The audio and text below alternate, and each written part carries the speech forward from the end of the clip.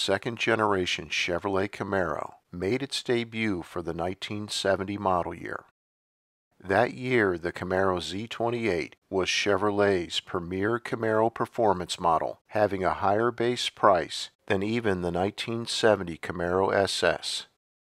The Camaro Z28 continued to grow in popularity until Chevrolet canceled the Z28 for the 1975 model year.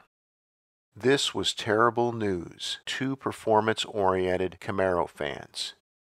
Chevrolet considered the Z28 to be out of touch in the new era of the mid 1970s of stricter emission standards and a new emphasis on fuel efficiency. In other words, Chevrolet believed a Camaro performance model was no longer needed. Fortunately, the absence of the Z28 from the Camaro lineup was short-lived.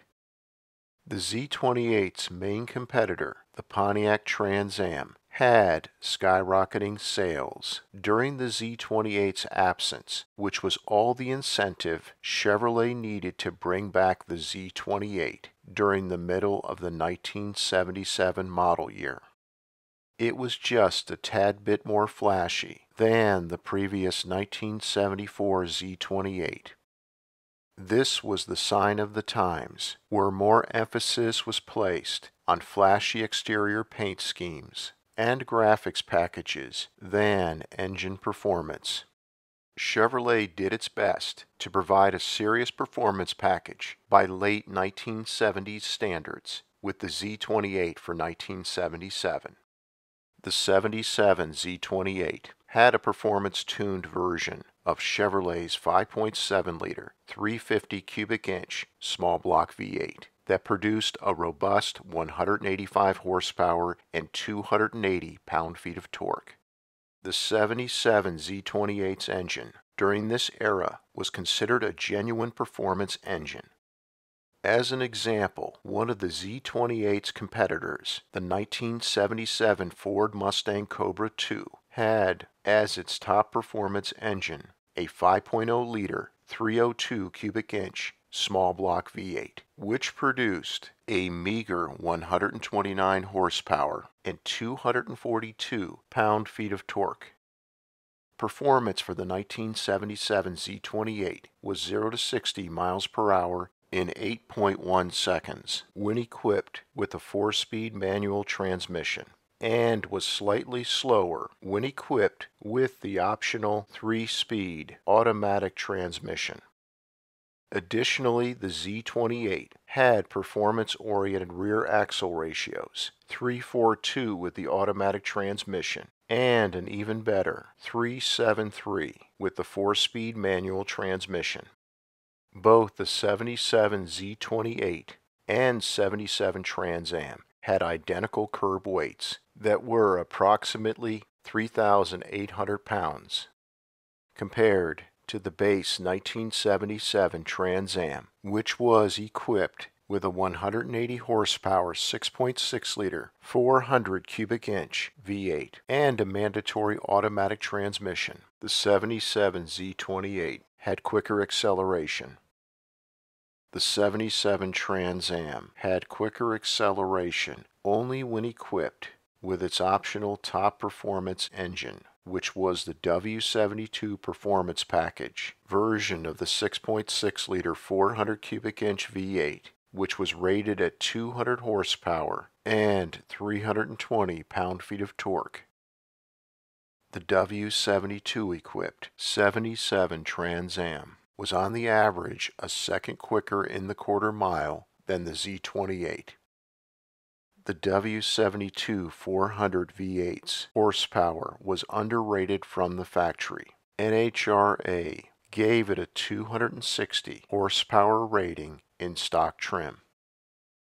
However, the 77 Z28 was a fantastic performance bargain. Its base price was an extremely reasonable $5,170, which was almost $300 less than the 77 Trans Am's base price.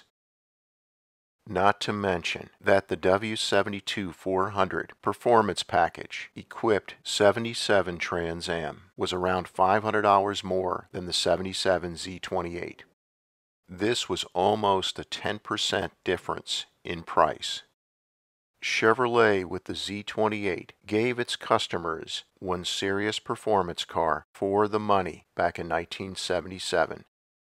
Camaro performance fans were overjoyed with the return of the Z28 for 1977. Even with the decrease in horsepower, overall the 77 Z28 was a much better and a more well-rounded performance car than the 74 Z28. Handling, braking, and steering had noticeably improved. These changes now made the Z28 a serious competitor to the Trans Am. However, the Z28 still couldn't beat the Trans Am in handling.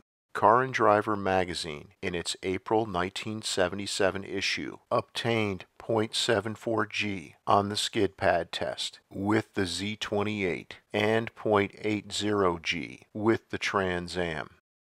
When it came to sounds, the 77 Z28 had that traditional deep resonance exhaust sound and the familiar four-speed manual transmission whine, which most traditional muscle car fans wanted to hear.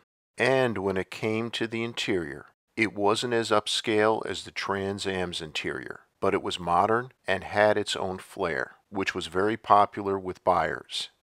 The instrument cluster with its multiple round gauges and front center console was what performance buyers wanted back in the day. Even today, the Z28's interior doesn't look as dated as most 1970s car interiors. Though the second generation Camaro was in its eighth model year when the 77 Z28 was produced, it was still a great looking car that did not look dated. Its styling, which consisted of a long hood, short deck lid, and a semi-fastback roofline, was still very modern by 1977 standards. This was only the beginning. For 1978, the painted metal bumpers were gone and replaced with ultra-modern flexible plastic bumpers and removable T-top roof panels were now a new option. Additionally, the Z28 received in 1979 front fender flares and for 1980 rear fender flares. From 1978 to 1981, there would be other added items and improvements to the second generation Camaro Z28. For 1977, 14,349 Z28s were produced. Though this is considered lower production, it had a considerably shorter production year due to its mid-model year introduction. Yet it still managed to beat 1974 Z28 production, which was 13,802 units. But more importantly, the 1977 Z28 would become the catalyst that caused a massive sales uptick that would reach a pinnacle in 1979 with Z28 production reaching 84,877 units.